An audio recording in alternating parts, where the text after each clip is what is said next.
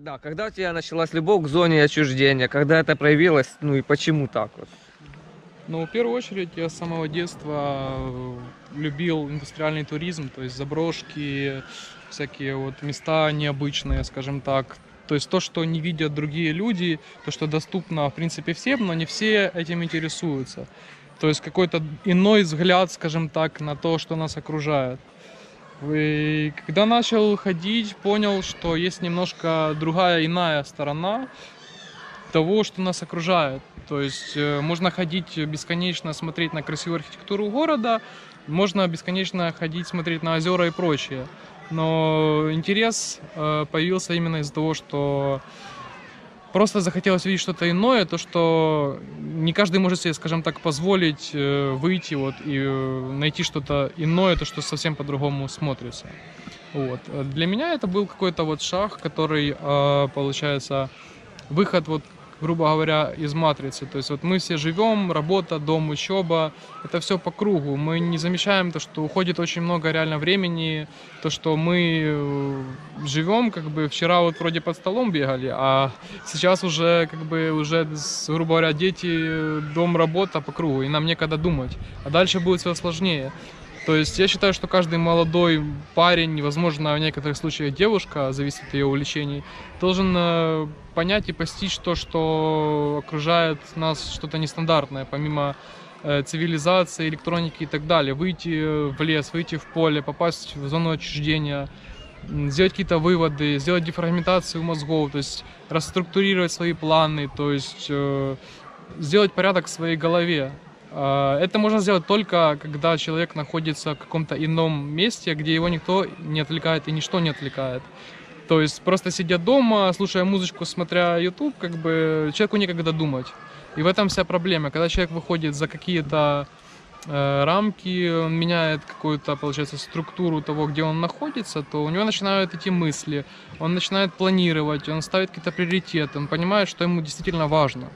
И только тогда он может вернуться, допустим, из гор, с похода в гор, или же с похода в Припять, Чернобыль, в зону отчуждения, и уже идти по плану, который он себе в голове уже установил там. То есть расформировал там семья, дети, работа, так, так, так расписал, и он выходит, и он как бы структуризировал это все и может спокойно двигаться дальше. Тем самым э, человек может спокойно, скажем так, отдохнуть от цивилизации, понять э, то, что действительно есть что-то иное, кроме того, что мы находимся постоянно в каком-то э, движении и в каких-то стандартах, выбиться, скажем так, из этой матрицы и сделать какие-то выводы просто. Да, если человек будет постоянно находиться в цивилизации, у него просто не будет никогда мотивации и какого-то такого вот стержня четко по структуре взять и пойти и достигать каких-то целей и развиваться. Если же человек э, оторвется от цивилизации, начнет думать, мыслить, у него не будет много факторов отвлечения, то это идеально, по моему мнению, то, что человек сможет реально двигаться и знать, к чему он идет. А если человек будет постоянно э, в движении находиться именно в цивилизации, у него реально очень много факторов отвлечения, и он теряет себя, он как робот.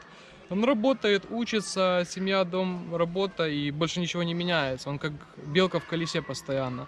И вот благодаря тому, что я начал ходить в походы, в горы, в Чернобыльскую зону отчуждения, я сделал такие выводы, что каждому человеку нужно найти вот такое вот какое-то вот или место, или направление, в котором он может выйти, перезагрузиться и двигаться дальше уже, скажем так, в своей жизни, скажем так, структурировать все и развиваться дальше.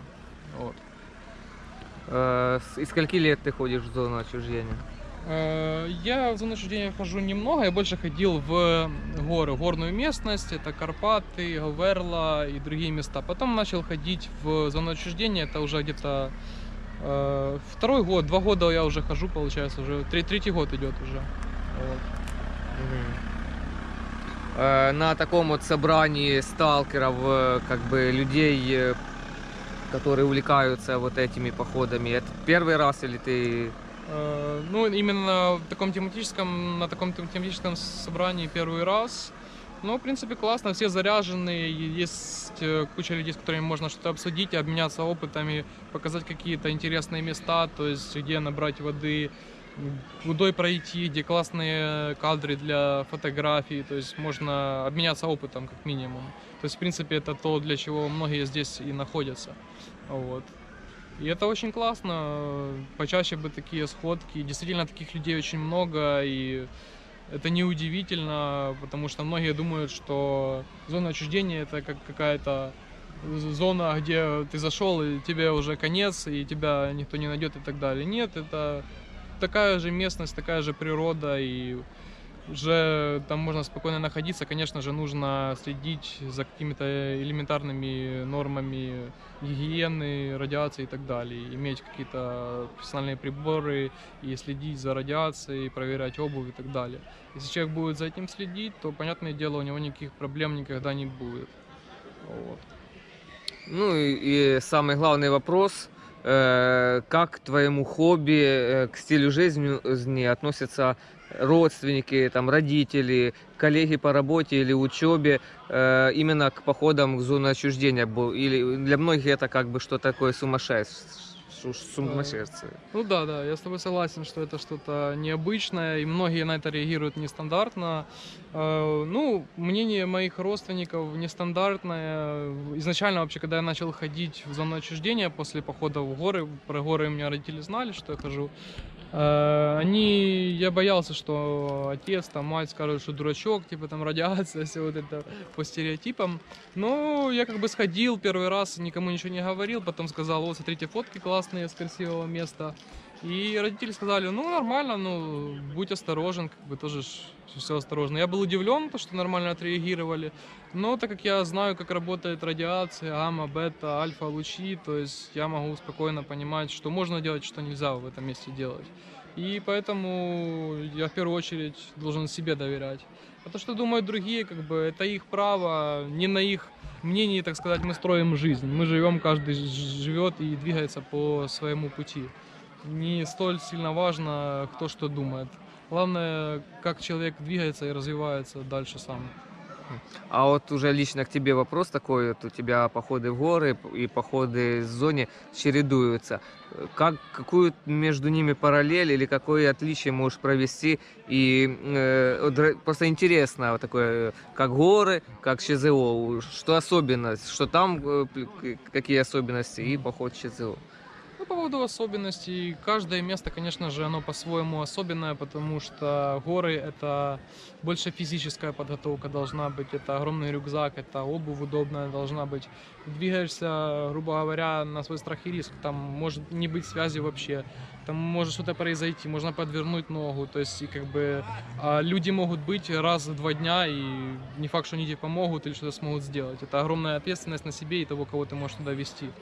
А, Опять же, там э, диалог, он небольшой, то есть вот это вот деформина- деформентация в голове, то есть упорядочить свои планы и свое развитие.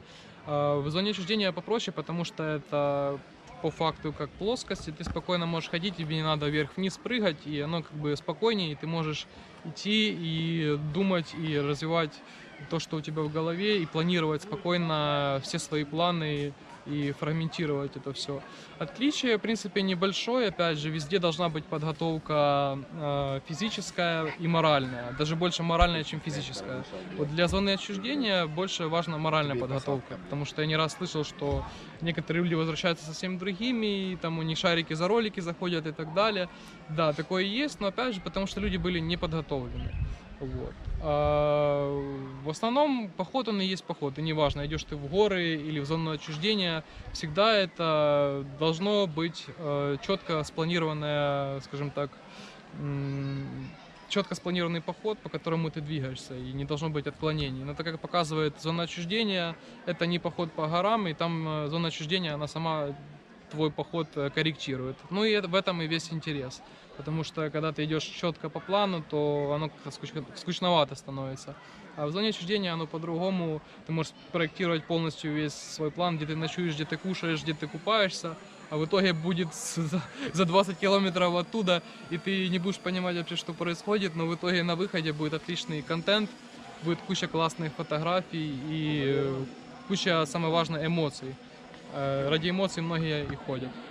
Ну и последний вопрос, э, что, по- э, что пожелаешь?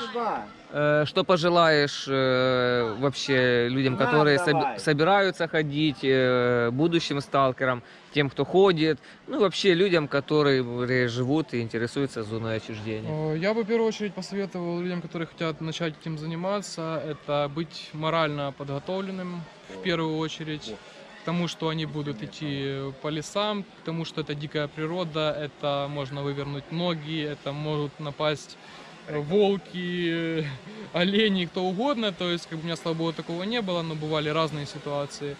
К этому нужно быть готовым физически и морально быть готовым к тому, что человек пройдя три, три дня по зоне отчуждения, у него начинается такое ощущение, что он э, как беглый какой-то преступник, потому что ему нельзя встретить никого из людей, машин, потому что его поход может очень быстро закончиться, и э, как бы а ради чего человек шел.